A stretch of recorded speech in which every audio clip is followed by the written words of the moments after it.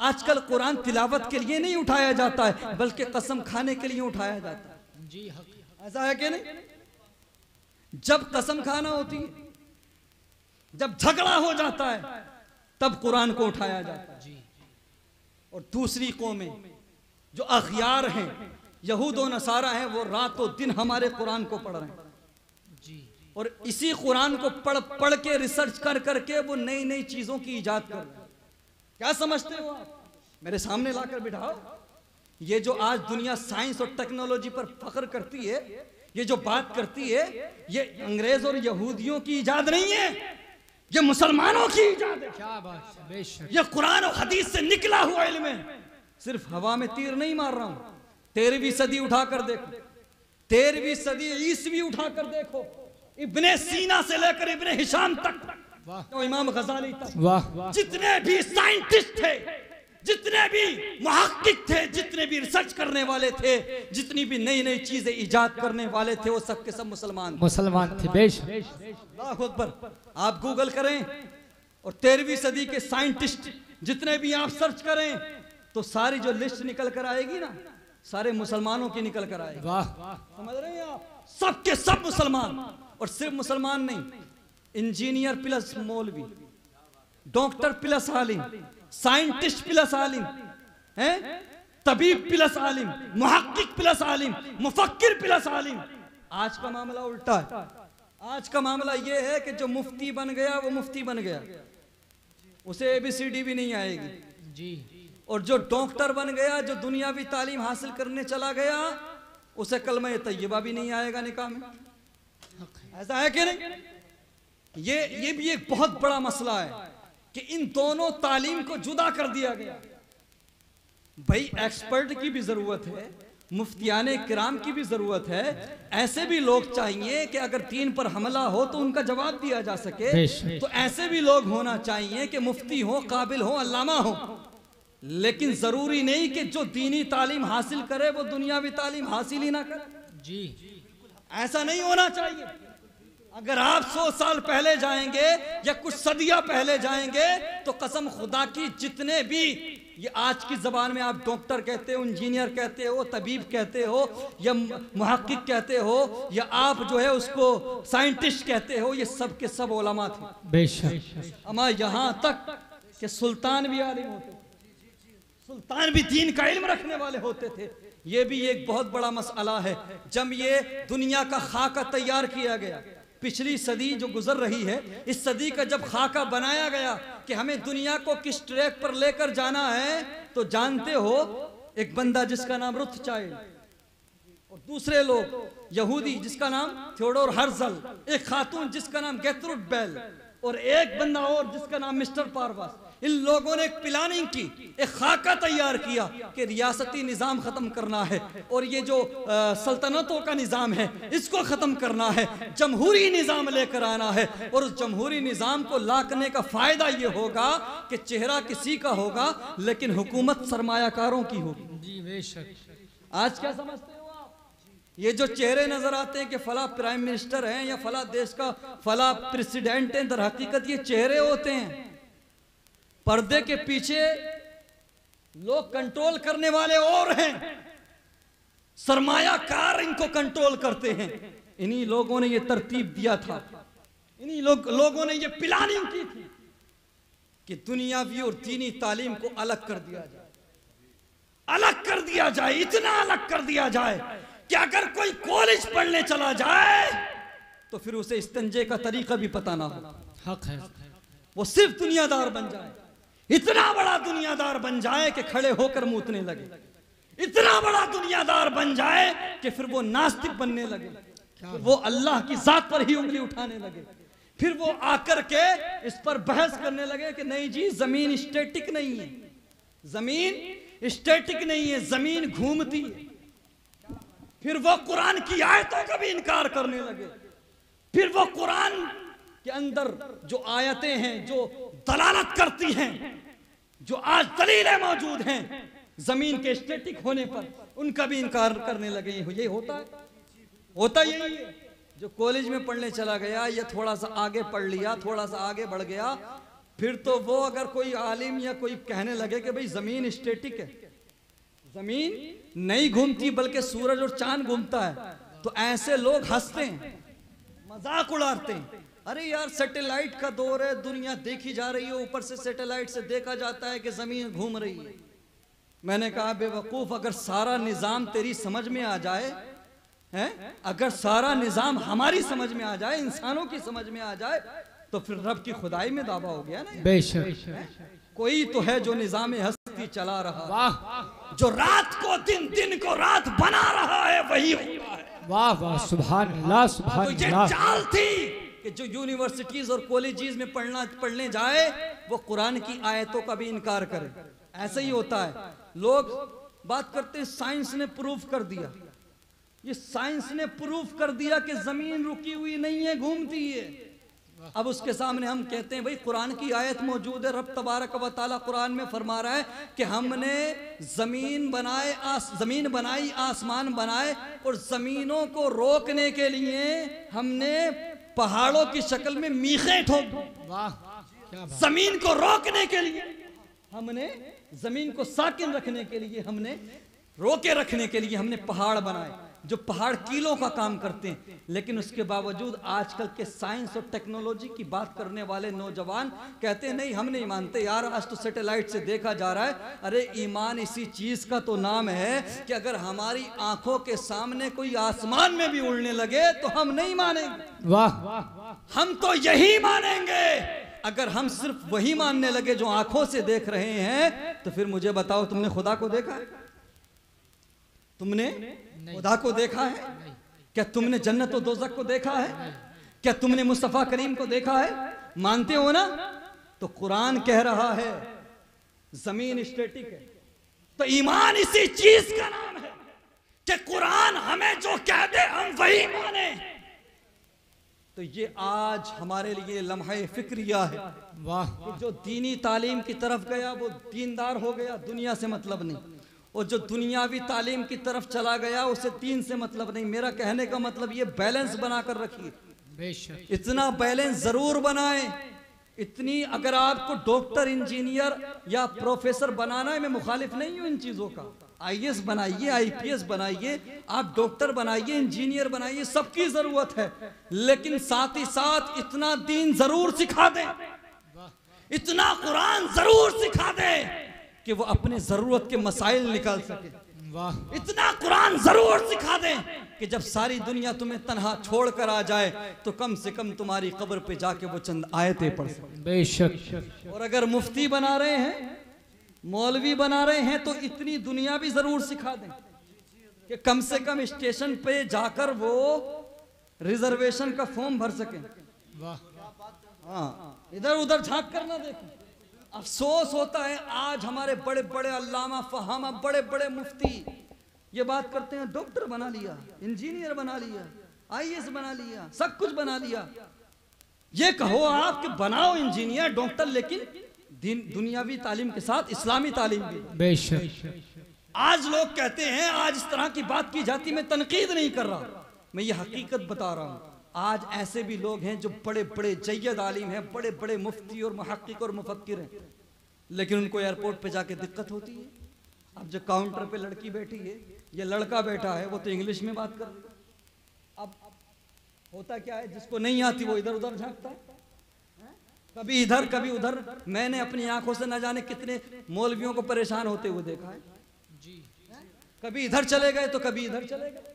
तो कहने का मतलब ये है कि अगर आप मुफ्ती या मौलवी आलिम बन रहे हैं तो साथ ही साथ दुनियावी उलूम भी सीखिए कि कम से कम आप दुनिया के कदम से कदम मिलाकर चल सकें। बेशक। और अगर कोई मुफ्ती या मौलवी ये कहे कि दुनियावी तालीम हासिल करना बुरी बात है तो सुनो फिर क्यों बताते हो चीख चीख करके आला हज़रत इमाम अहमद रजा खान को पचपन उलूम पर महारत हासिल वाह। क्या बात है? क्यों बताते हो? कि आला हज़रत एशिया के सबसे पहले मुस्लिम साइंटिस्ट वाह। क्यों बताते हो कि आला हज़रत माहिर फल्कियात भी है?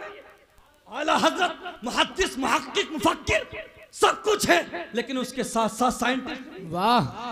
क्यों बताते हो कि आला हज़रत जैसा मैथ जानते थे ऐसा मैथ ना उनके जमाने में जानता था ना आज? वाह क्या बात है भाई जिंदाबाद जिंदाबाद पता लगता है कि इल्म कोई बुरा नहीं।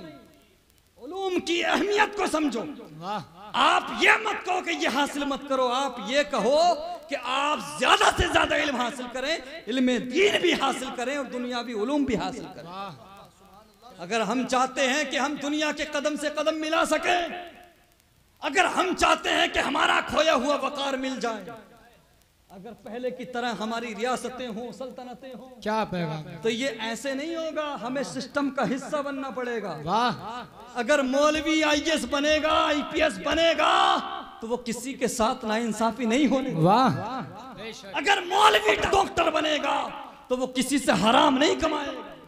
अगर दीन का जानने वाला अगर वो मंत्री बनेगा मिनिस्टर बनेगा तो वो घूस नहीं खाएगा। वाह। हुआ क्या है? ये सौ साल में दीन को सियासत से अलग कर दिया गया सियासत को दीन से अलग कर दिया गया। यही वजह है कि हम गुलाम बन के रह गए। और ये जो छोटे छोटे गाँव के प्रधान है ना प्रधान छोटे छोटे है ना? हाँ ऐसा मैं बुरा नहीं कह रहा हूँ। हाँ इस, इस गाँव के जो प्रधान है वो भी हमारे मिलने वाले हैं। अल्हम्दुलिल्लाह हमारे बड़े भाई के दोस्त हैं वो। प्रधानों की बुराई नहीं कर रहा लेकिन इनकी थिंकिंग बता रहा हूँ। मैं सबकी बात कर रहा हूँ कॉमन बात कर रहा हूँ। मैं भी मेरे वालिद भी प्रधान रहे कई बार।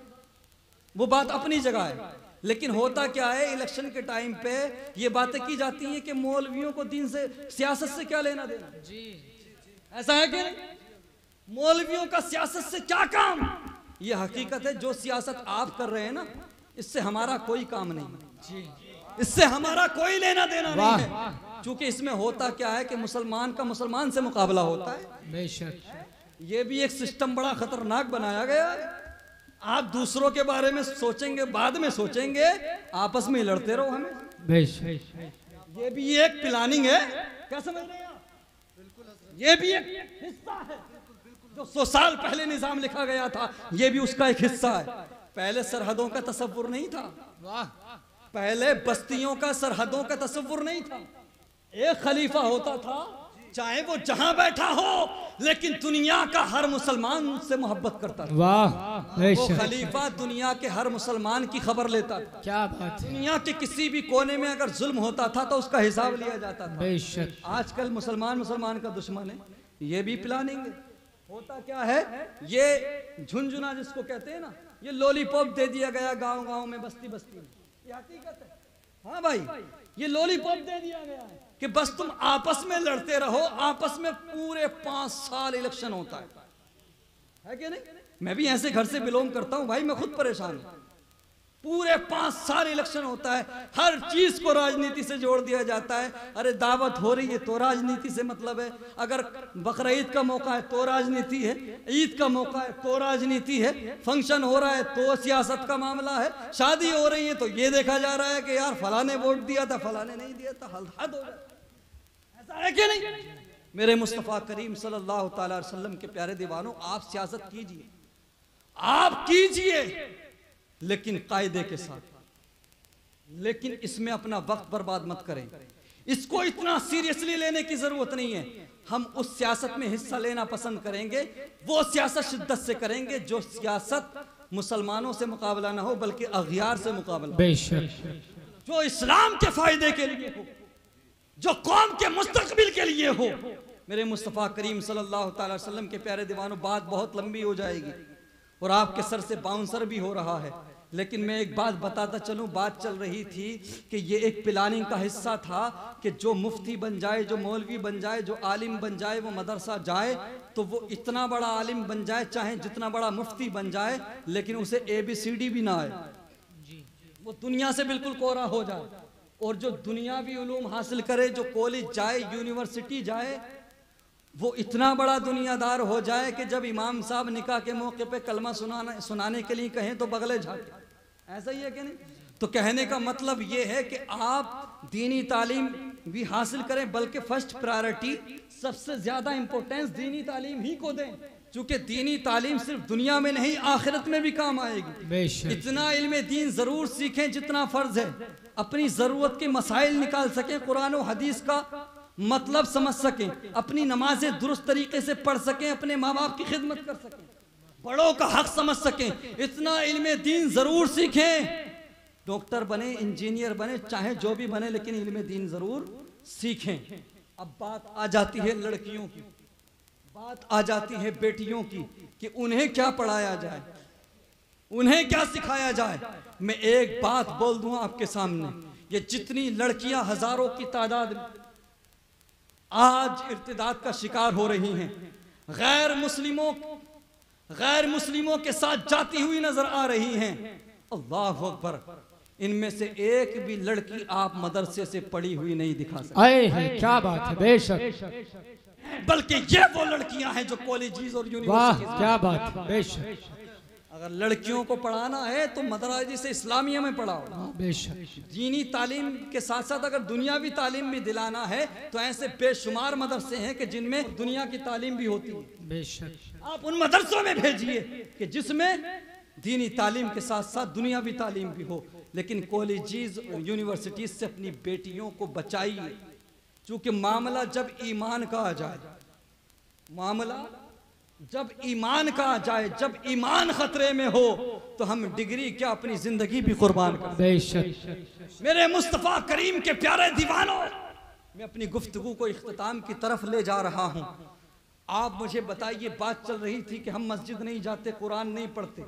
कुरान को उठाया जाता है कसम खाने के लिए। ऐसा है कि नहीं? आजकल की जो लड़कियाँ हैं जिनकी शादियाँ हो गई हैं, शादी के दस साल बाद भी उनको जो फ्रिज मिला है जो वॉशिंग मशीन मिली है जो चीज़ें मिली हैं सब चमक रही हैं। लेकिन जो बाप ने कुरान दिया था ना जहेज में अगर उसको उठाकर देखोगे तो कई किलो गर्द उस कुरान पे जमी हुई मिलेगी। फिर हम शिकवा करते हैं यार हम पर अल्लाह की रहमत नहीं हो रही। हमारे घर में बरकत नहीं हो रही। हमारे कारोबार में बरकत नहीं हो रही। अल्लाह अकबर हम कई कई बार कपड़ा मारते एलसीडी पे। कई कई बार कपड़ा मारते फ्रिज और वॉशिंग मशीन पे। लेकिन जो अल्लाह का कलाम है, जो अल्लाह का कुरान है, हमारे घरों में उन, उस पर रखे हुए गर्द चढ़ी हुई है।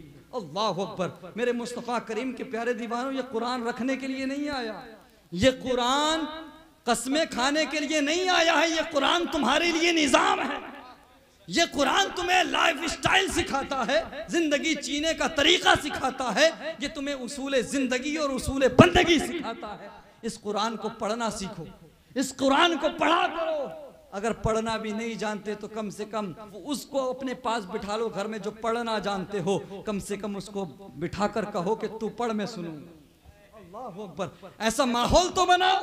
बस जैसे ही परेशानी आई, तावीज लेने भाग गए। कभी इधर गए, कभी इस मौलवी के पास, कभी वहाँ पाँच हज़ार का लोबान जला दिया तो कभी तीन हज़ार का वहाँ कटवा दिया। ऐसा है क्या?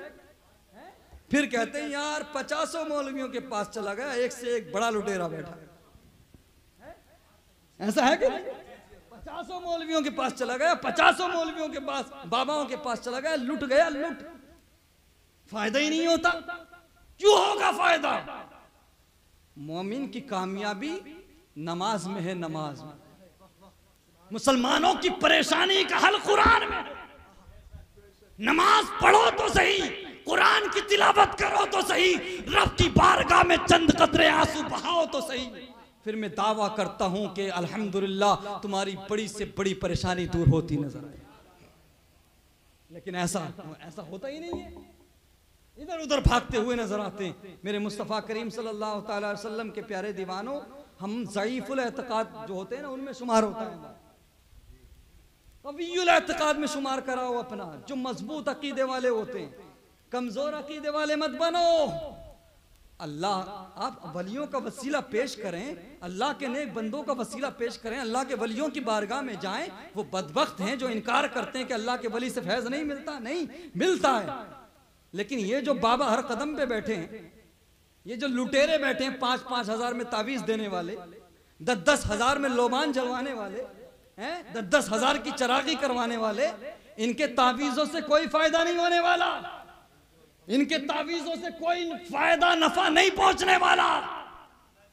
हकीकत ये है, अगर कामयाबी चाहते हो, परेशानी आई है तो कुरान पढ़ो, अपनी माँ से, वालिदा से दुआ के लिए कहो। माँ बाप की दुआ औलाद के हक में ऐसे कबूल होती है, जैसे नबी की दुआ उम्मती के हक में और अगर आप जा ही रहे हैं तो अल्लाह के वलियों की बारगाह में जाएँ, अल्लाह की बारगाह में अर्ज़ करें, परवरदिगार मैं तेरा गुनागार बंदा हूँ, खताकार बंदा हूँ, लेकिन मैं तेरे खास बंदे की बारगाह में आया तेरे नेक बंदे की बारगाह में आया हूँ, इनके सदक़े में मेरी परेशानी दूर कर दे, ये किया करो। ये तरीके हैं।